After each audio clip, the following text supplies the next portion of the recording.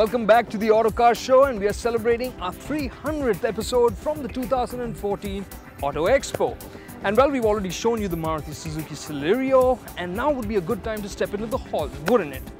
Actually, no, because even before the doors of the Auto Expo opened, manufacturers had opened up their treasure chests and showed us their very best, their most prized cars.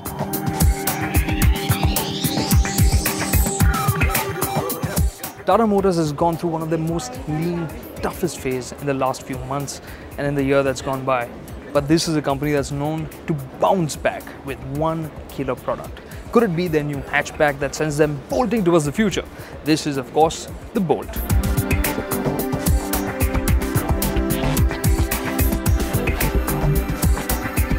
Straight away when you look at the bolt from the side especially you'll see that the glass house there's no getting away. This is based on the Vista.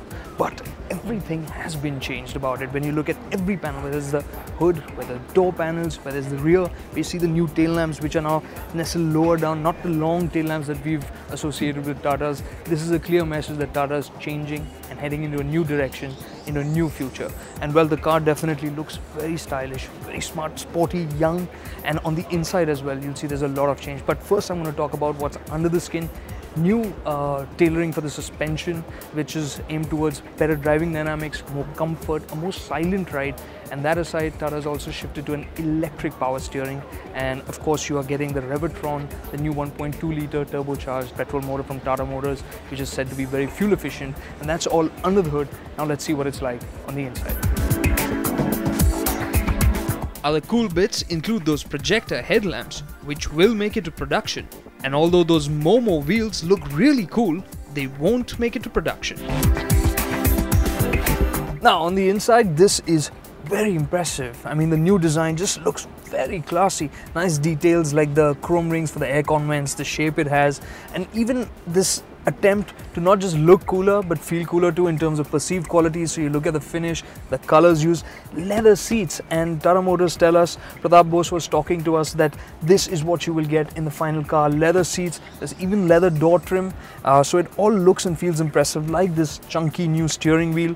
You get a very well designed center console as well with text to speech, uh, it has Bluetooth, you can even stream maps from your phone onto the display in the car. So very cool stuff and uh, definitely feels more upmarket and appealing. Now the second car from Tata Motors here is the Zest. The Zest is a three-box version of the Bolt and as such shares the same design. Small differences include the addition of LED daytime running lights at the front. Overall, the Zest looks smart and sure. While the rear isn't perfect, it doesn't look too gawky or weird. And when it comes to boot space, let's just say there's enough to take on the competition. But that aside, the talking point for this car is going to be what's under the hood. In this case, yes, there's a petrol Revotron motor here as well, but what's the real big talking point will be the gearbox. There's an automated manual transmission like we spoke about on the Celerio. But in this case, on the Zest, is going to be coming with the 1.3 litre quadrajet diesel engine. So that's going to make the Zest a really interesting and unique proposition for the Indian market.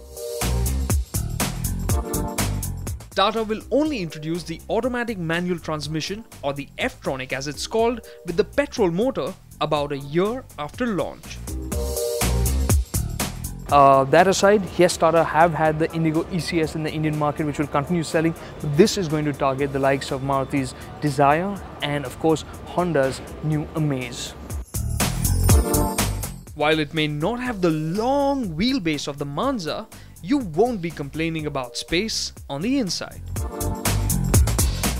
So no surprises, this back seat is very impressive, spacious, comfortable seats. Headroom though has been hampered a bit by the roofline. You can feel it cutting in here. Uh, but that aside, a great back seat and in fact a great cabin to be in because it's not just the space. Tata Motors has worked hard like on the Bolt to improve the quality here. Sharper, smarter design, shares the dashboard, looks good, well equipped, impressive on the inside and both these starters are slated for launch in the second half of 2014. After that, we headed to meet up with another sub 4 meter car.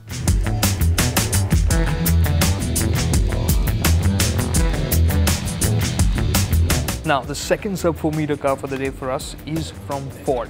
This is the Figo concept. And I think that in itself is interesting because Figo straight away tells you that it should be a simple, honest, practical and spacious car. So while this is just a concept for now, we're sure it's coming into production next year.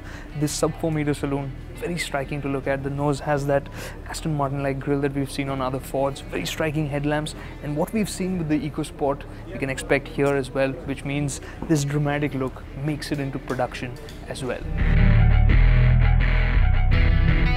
Now on the design front you can see that they worked to get as much room as possible on the inside so it is quite tall and you can even see that the roofline at the rear is quite squared off to give you more headroom. So this should be a spacious sub 4 meter saloon. You can't shoot the interiors but there's a mock-up inside and you can see that the dashboard resembles what we've seen on the EcoSport and uh, we can't shoot the boot as well but we do expect it to be quite usable and spacious on that front. Now this car is clearly aimed at India, first and foremost because it's tailored to the sub 4 meter rules and it's of course made its debut here right before the Auto Expo.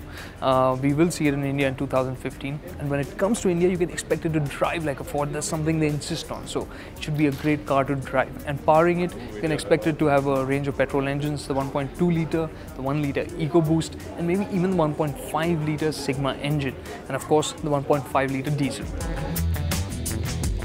So Ford will be looking at taking on the likes of Maruti's Dzire, Tata's upcoming Zest, Honda's Amaze and of course Hyundai's Grand i10 Saloon. Yes, the next day the sub 4 meter Hyundai was right on top of my menu.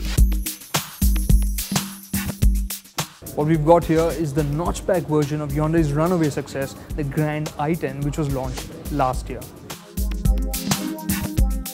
Its name is the Xcent, which is a play on the word accent, which was one of Hyundai's biggest hits when they first came to India. Mechanically, the Xcent is based on Hyundai's Grand i10 and it shares the same wheelbase, although it is longer to accommodate the boot. When it comes to the engines, Hyundai will offer petrol and diesel motors with the option of manual and automatic gearboxes. As likely as not, these will be the same that we've seen on the Grand i10. Now in terms of features, the Xcent gets alloy wheels, 15 inch alloy wheels over the 14 inches offered on the Grand i10 and it also gets a rear view camera. Now no surprises, the experience on the inside was impressive. Now obviously the Xcent shares a lot with the Grand i10 in terms of features. It has everything that the Grand i10 has, which means it has a lot and it tops all of that by also getting climate control air conditioning. It gets electrochromatic rear view mirror, which also has an integrated display for the rear view camera. Now here in the back seat, the Grand i10 was impressive and so is the Xcent. You have lots of legroom, pretty good uh, rear bench and pretty nice headroom as well. All in all, really a comfortable back seat, which is made all the more better, of course, with the dedicated air vents for the rear passengers. So as with every other Hyundai, the Xcent is going to be equipped right up to its eyeballs with goodies. So when it is launched towards the end of March, you can be sure it will be priced to take the competition head on. Datsun made a big splash at the expo. Their first car for India was prominently on display, the Go Hatch. This car will be launched in March with a sub 4 lakh rupee price tag.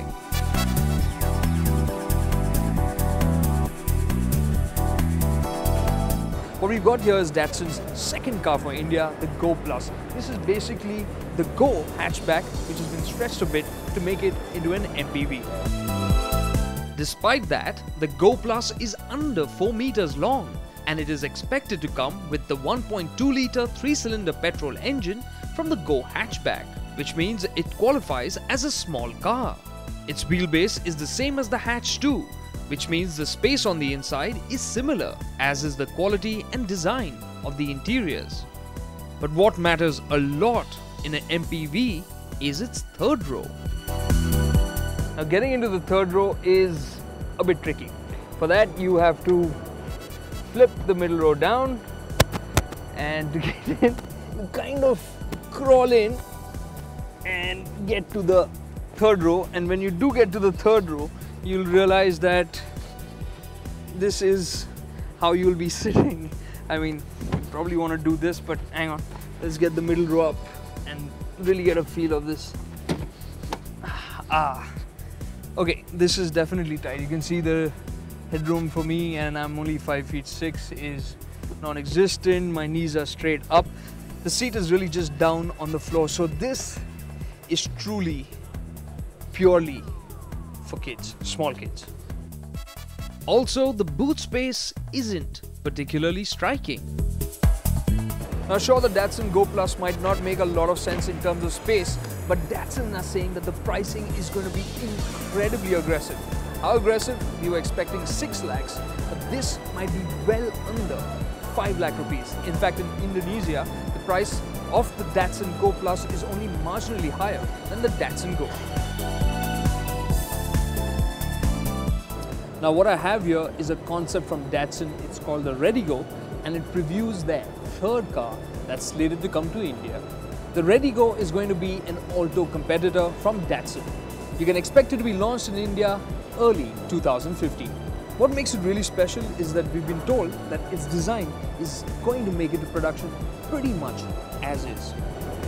We can't take a look inside the car, so we can't tell you how much space and what kind of interiors it has, but this certainly looks like a very promising car from Datsun.